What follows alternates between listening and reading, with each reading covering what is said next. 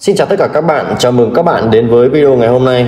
À, hôm nay chúng ta sẽ cùng nhau khám phá một trong những nguyên liệu quý giá trong y học cổ truyền Việt Nam, đấy chính là quả bồ kết.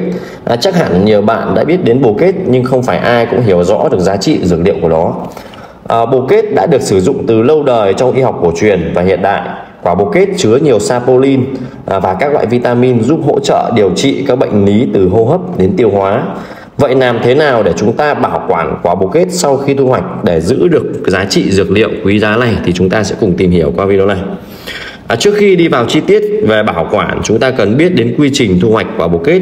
À, việc thu hoạch đúng cách sẽ ảnh hưởng đến chất lượng của quả bồ kết sau này.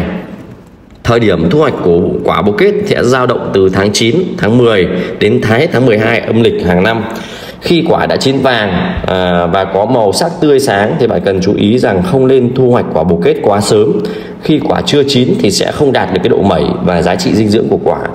Sau khi thu hoạch thì cần xử lý bồ kết ngay lập tức để tránh tình trạng hỏng hóc. À, trước tiên sẽ rửa sạch quả bồ kết dưới nước để loại bỏ bụi bẩn và vi khuẩn.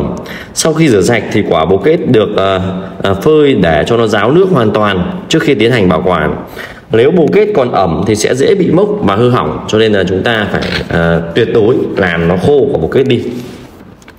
À, bây giờ chúng ta sẽ cùng nhau tìm hiểu về phương pháp bảo quản bồ kết để giữ nguyên được giá trị dược liệu của nó. À, dưới đây là một số mẹo để bảo quản của bồ kết à, hiệu quả mà bạn có thể áp dụng. À, bồ kết cần được bảo quản nơi khô ráo, thoáng mát, nhiệt độ lý tưởng để bảo quản quả bồ kết là từ 15 đến 25 độ C. Nếu bạn sống ở khu vực có độ ẩm cao thì hãy chú ý đến kiểm tra độ ẩm thường xuyên để tránh quả bị ẩm mốc. Có thể sử dụng túi bóng, túi ni lông hoặc uh, hộp thoáng khí để bảo quản quả bồ kết, tránh sử dụng túi uh, ni lông kín à, nó có thể bị hấp hơi. Thì chúng ta nếu mà để ờ, ở trong túi ni lông kín thì chúng ta phải sấy. Sau đó là à, phơi cái quả bồ kết sau khi đã sấy xong là phơi ra ngoài sân để cho nó nguội hẳn đi thì chúng ta mới cho vào bao ni lông được nha các nhé. À, một trong những phương pháp bảo quản có bồ kết hiệu quả nhất đấy chính là sấy khô. Sấy khô không chỉ giúp kéo dài thời gian bảo quản mà còn giữ nguyên được giá trị dược liệu của quả bồ kết. Để sấy khô bồ kết thì bạn có thể dùng nắng mặt trời hoặc uh, sấy bằng điện nếu sấy bằng nắng mặt trời thì phải trải quả một kết à, thật mỏng à, trên sân à, hoặc à, dưới ánh nắng trong vòng khoảng 3 đến 5 ngày đến khi bồ kết hoàn toàn khô hẳn nếu bạn sử dụng máy sấy thì hãy điều chỉnh nhiệt độ ở mức nhiệt độ từ 40 tới 70 độ và sấy trong khoảng thời gian từ 8 đến 20 tiếng.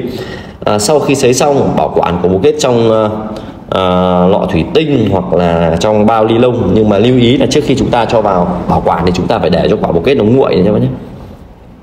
À, nếu bạn à, muốn bảo quản có bồ kết lâu dài, bạn có thể để trong ngăn đông tủ lạnh.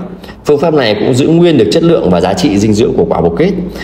À, trước khi cho vào ngăn đông thì hãy rửa sạch và để ráo nước sau đó là bọc bồ kết vào túi ni lông và cho vào ngăn đông đấy là các bác muốn sử dụng quả bồ kết tươi khi cần thì chỉ cần lấy ra giã đông từ từ ở nhiệt độ bình thường Đấy, bây giờ thì bạn đã biết được cái cách bảo quản quả bồ kết thì hãy cùng tìm hiểu về cách sử dụng bồ kết một cách hiệu quả khi đã bảo quản à, bồ kết khô có thể được sử dụng để à, gội đầu chế biến các cái à, thành các cái à, nồi nước sông nước tắm à, tùy theo cái mục đích sử dụng của mọi người.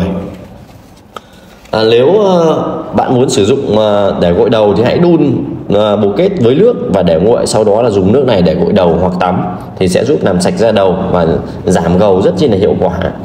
À, cuối cùng thì chúng tôi khuyến khích à, các bạn hãy tìm hiểu và sử dụng bồ kết trong cuộc sống hàng ngày. Việc sử dụng quả bồ kết không chỉ mang lại lợi ích cho sức khỏe mà còn giúp bảo vệ và phát triển cây bồ kết, một trong những nguồn tài nguyên quý giá của đất nước. À, chúng tôi muốn giới thiệu đến bạn những cây giống bồ kết ghép chất lượng cao tại vườn ươm của chúng tôi.